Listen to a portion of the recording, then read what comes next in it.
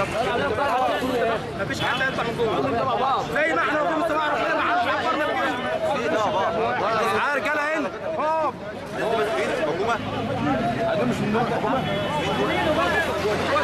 اي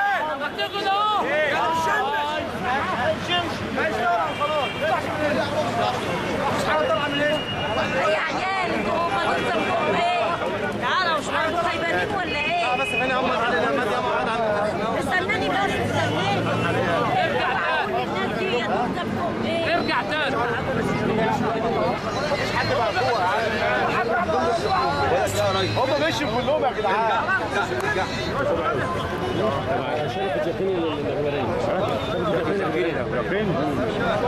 فيني بالله بلاش تصور الحاجات دي بالله مطالبي للشركة تر- تتسلم آه، ينفذوا حكم المحكمة.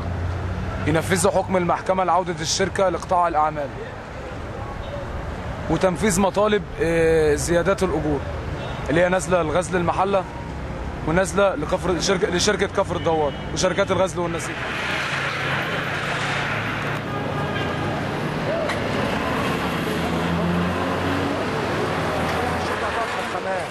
هيبقوا يجيبوا لنا قبض منين؟ لا بنقبض وكل ما نيجي ناخد جنيه يفضحونا ابوه في الدولة.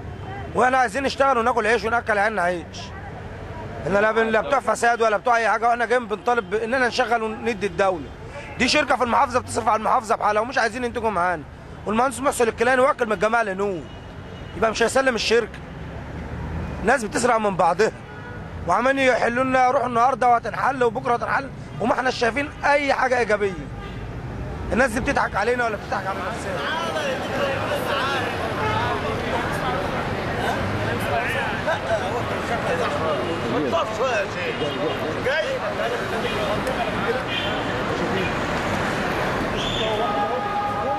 للبلد تبقى حكومة فاسدة حكومة طاغية.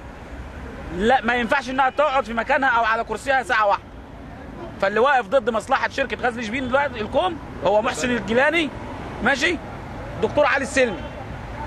دول لغاية دلوقتي هم اللي معطلين تنفيذ حكم المحكمة ببطلان عقد شركة شبين كوم لغزل النسيج فاحنا جايين النهارده عشان ننفذ حكم المحكمة زائد تنفيذ الاتفاقية المبرمة بيننا وبين الهند وهي شامله فيها زيادة الأجور زيادة الحافز بدل الوجبة ولما جميع تثبيت العماله المؤقتة.